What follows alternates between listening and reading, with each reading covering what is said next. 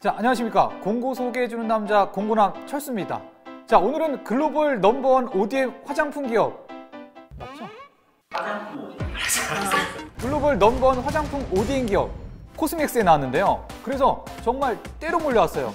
제가 이분들 다 만나보고 채용에 관한 궁금증, 직무에 관한 궁금증 모두 풀어드리도록 하겠습니다. 아니 소개에 화장품 ODM이라고 했는데 이 ODM이 정확히 뭔지 알 수 있을까요? 네, 저희가 ODM을 먼저 말씀드리기 전에 이제 조금 더 이해하기 쉽게 각 부서들이 어떤 식으로 업무를 진행하는지 먼저 설명을 드릴게요. 화장품을 갖고 왔는데요. 아, 이거, 저희 이거 어디서 나왔죠?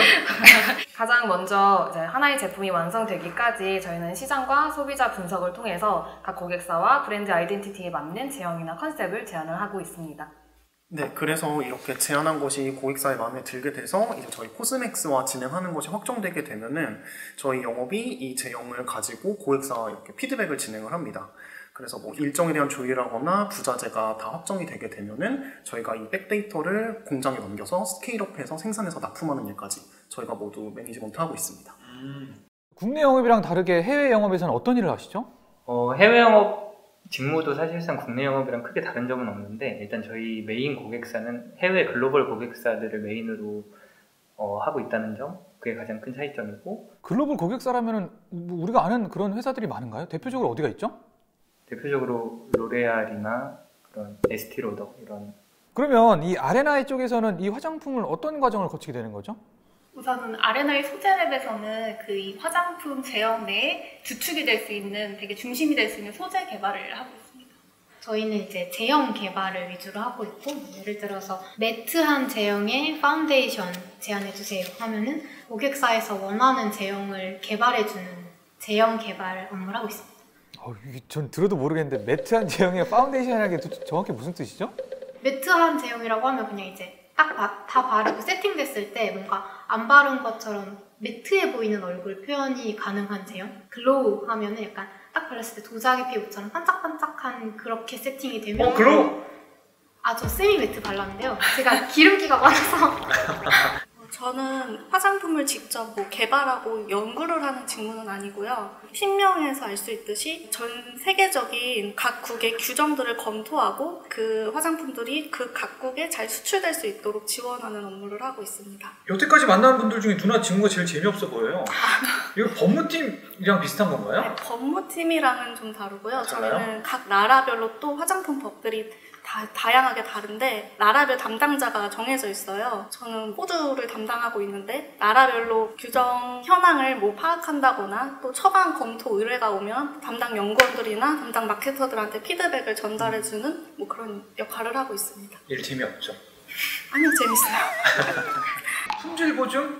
생산 운영. 아, 그 정확하게 어떤 일이죠, 그게? 생산 운영 같은 경우에는 이제 R&I에서 연구를 해서 이제 이 제품을 시장에 내놓자 하면은 연구소에서 내놓은 내용물 이거를 몇만 개 만들자 이런 스케일로 내용물을 만드는 계획 하나랑 이 내용물을 내용물 그 용기에 담자 요 계획 하나 담고 나서 포장까지 하는 요 계획까지 총 3개의 계획을 세우게 되는데 이 계획이 서로 틀어지지 않게끔 잘 맞물려 가게끔 생산 전반적인 부분을 계속 컨트롤해주는 그런 팀입니다. 저희 품질 본부는 품질 관리팀과 품질 보증팀으로 이렇게 두 가지로 나눠져 있고요. 이제 품질 관리팀에서 제품이 정해진 스펙에 맞게끔 생산되었는지에 대해서 확인을 하고 시험을 진행하고 적합을 내리는 그런 부서입니다. 품질 보증팀은 국내 또는 해외 고객사 그 오딧 대응 및 클레임 대응 그리고 품질 프로세스 그 구축을 주 업무로 진행하고 있습니다. 혹시 그 잠바는 회사 잠바인가요? 아니요, 제가 개인적으로 구매했습니다. 간단하게 어떤 일을 하시는지 좀 소개 좀 부탁드릴게요. 제품을 연구 개발 생산하는 데 있어서 직접적으로 관여하는 부서들도 있는데 그 부서들이 톱니바퀴처럼 이렇게 잘 맞물려서 돌아갈 수 있게끔 지원하는 부서들이 있습니다. 인사기획팀도 그 부서들 중에 하나이고 그래서 인사기획팀에서는 그룹 전체 표준 인사 제도를 수립하고 계열사의 인사 제도를 컨설팅하는 역할, 그룹 공채, 그 다음에 어, 그룹의 인사 현황을 관리하는 업무 이런 업무들을 하고 있습니다.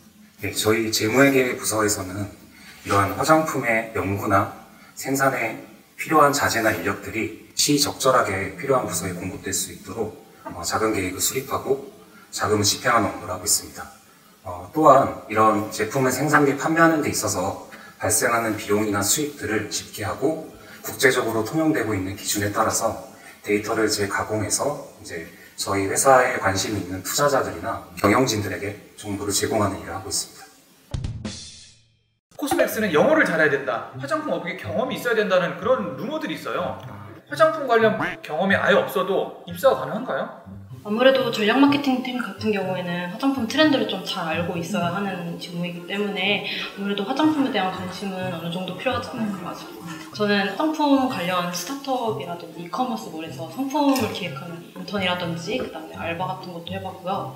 메이크업을 조금 더 가까이서 체험해보고 싶어서 직접 메이크업 스튜디오 가서 메이크업 해주는 그런 알바도 해본 적이 있었어요.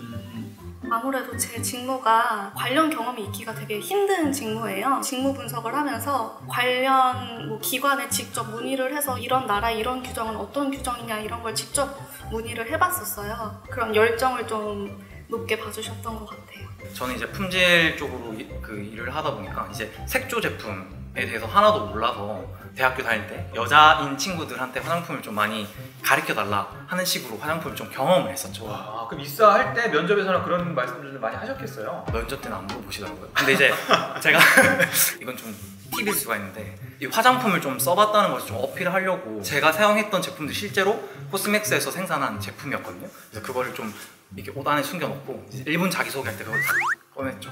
회장님이랑 나랑 임원진 분들이 조금 많이 관심을 가져주시더라고요. 이게 남자분들은 화장품 관련 경험을 쌓기 쉽지 않잖아요. 화장품 혹시 입사 전에 발라본 적 있으세요? 어 발라본 적 스킨로션 말고는 없습니다.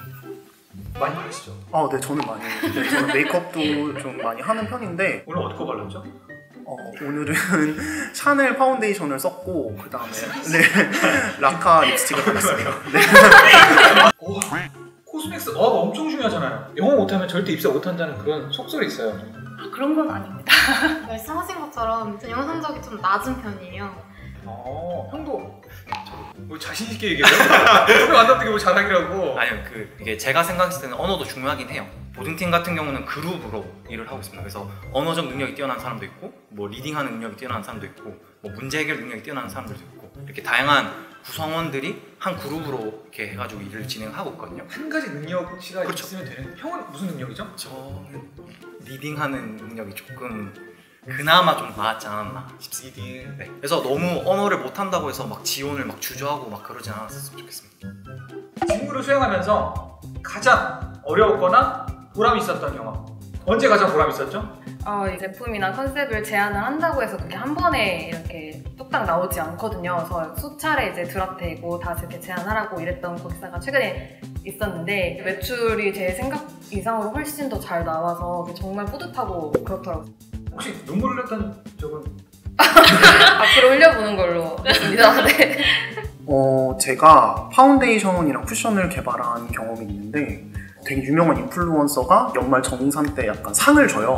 파운데이션이랑 쿠션이 이제 이 모공 커버랑 이제 남자가 써도 괜찮은 베이스로 1등을 해서 그게 다른 이제 화장품 유통 업체에서 어, 이게 이번에 우리가 주요 품목으로 선정을 하게 됐다라고 하면서 이제 굉장히 발주가 좀 많이 들어오고 친구들도 실제로 막 아 나 이거 내가 개발한 거 샀는데 너무 좋다라고 하면서 저한테 막 인증샷을 보내주고 한 적이 있거든요. 그때 제일 보람 찼던 것 같아요. 내가 개발한 제품이 이제 마켓에 스프레딩 돼가지고 되게 잘 되는 그런 모습을 볼 때. 뭐 고객사에서 이 나라로 뭐 수출을 진행하고 싶은데 고객사도 모르고 뭐 저희 쪽에서도 정확하게 이 국가에 수출할 때 있어서 필요한 정보들을 잘 모를 때가 있어요. 근데 제가 열심히 찾고 구글링하고 해서 딱 그들이 원하는 답변을 내줬을 때 그 이후로 또 수출 진행이 원활히 된다는 뭐 피드백을 받았을 때 좀 보람찼던 것 같습니다. 업무 수행하시면서 어려웠던 적 언제죠? 저희가 트렌드가 계속 바뀌면서 고객사들도 런칭을 계속 빠르게 해, 어, 해야 하다 보니까 고객사에서는 샘플을 빨리 달라고 저희에게 요청하는 경우가 많은데 어, 내부적으로는 이제 연구소가 한 고객사만 맡아 하는 게 아니라 여러 브랜드를 맡아서 하다 보니까 마냥 저희 고객사 샘플만 빠르게 챙겨줄 수 없는 상황이 있어서 이 부분에서 이제 고객사와 저희 내부적으로 연구소와 일정 협의를 하는 것이 가장 어렵다고 생각합니다. 상대하는 고객사가 되게 많다 보니까 이 고객사에서 물건을 이때까지 달라 여기도 여기 이때까지 달라 이런 게 많이 겹치다 보면은 이제 판단을 어떻게 해야 되나 그런 거를 고민을 하게 될 때가 있는데 아, 이상적인 계획은 이런데 실제로 해보니까 이런 게 잘 안 되더라. 이 내 계획이 머릿속에서 짠 계획이랑은 좀 괴리가 있더라. 이런 거를 느낄 때가 아무래도 이제 좀 힘들지 않나 싶습니다. 그러면서 크는 거예요. 그렇게 컸어요. 코스맥스 안에서 이루고 싶은 목표가 있을 것 같아요. 뭐가 있을까요? 저희 회사에서 직원들의 교육과 관련해서 지원을 많이 해주고 있습니다. 저는 약간 어학 쪽에 좀 관심이 많아서 기회가 된다면 이제 평소에 어학 실력을 쌓아서 나중에 해외 현지 법인에 좀 나가서 저의 역량을 펼치고 싶은 욕심이 있습니다. 화장품 업계를 이끌 만한 새로운 축이 될 만한 소재 캐타고리를 제가 딱 확립하는 게 목표입니다. 카테고리. 네, 카테고리. 여러 가지 제품에 적용할 수 있는 그런 소재 개발을 하는 게제 목표입니다. 저는 올리브영이나 뭐 이런 유명한 브랜드에서 1위 하는 제품 제가 만들어 보고 싶어요. 딱 말하면 어 나 그거 알아 그거 진짜 좋아 이런 제품 제 이름으로 한번 해보고 싶어요. 코스맥스를 신생들에게 추천하는 이유가 있을 텐데 뭐가 있을까요? 한 가지씩. 어, 저는 코스맥스 가장 큰 장점은 보시다시피 굉장히 임직원들이 젊어서 이제 회사 전체적으로 열정이 넘친다는 게 가장 큰 장점인 것 같고요. 저희 회사는 아무래도 8시 출근인데 5시 퇴근을 장려하고 있기 때문에 저녁이 있는 삶. 아무래도 화장품 ODM 1위 회사다라는 자부심을 항상 갖고 있는 것 같아요. 백화점을 가든 어디 몰을 가든 저희 회사 대표적인 제품들을 상당히 자주 접할 수 있는데 그런 제품들을 시중에서 볼 때마다 자부심을 항상 갖고 일을 하게 되는 것 같아요. 되게 한국에서만 국한된 게 아니라 뭐 미국, 프랑스, 뭐 유럽 이런 해외 각국에서의 OEM, ODM들도 많이 들어오기 때문에 그런 다양한 경험을 축적할 수 있다는 점이 게- 가장 큰 장점인 것 같아요. 다른 회사를 갔으면 내 경력 지금 3년보다 조금 더한 경력에 이만한 일을 배울 수 있었을까? 제출에 큰 영향을 미치는 이런 큰 일을 내가 할 수 있었을까 하는 생각을 꽤 종종 하는 것 같아요. 그래서 아마 회사가 커가면서 내가 정말로 성장할 수 있다가 아니라 이미 성장을 했다라고 생각을 자부심을 조금 가지, 가지는 것 같아요, 스스로. 10년 연속 20% 성장을 했고 작년에는 그룹 매출 2조 원을 달성하면서 10배가 컸거든요. 성장하는 회사에 승진 등 기회가 많이 주어지고요. 성장하는 회사에서 직원들에게 이렇게 돌아가는 것도 많습니다. 그래서 취업을 준비하시는 분들이라면 어, 성장 코스맥스에 어, 입사를 도전하셨으면 좋겠다. 아, 아무튼 성취 지향하시는 취준생분들에게는 이만한 회사가 없다. 자, 지금까지 코스맥스 현직자들을 만나봤습니다. 코스맥스에 관한 더 많은 채용 그리고 직무에 관한 이야기가 궁금하신 분들은 코스맥스 채용 홈페이지에 놀러 오세요.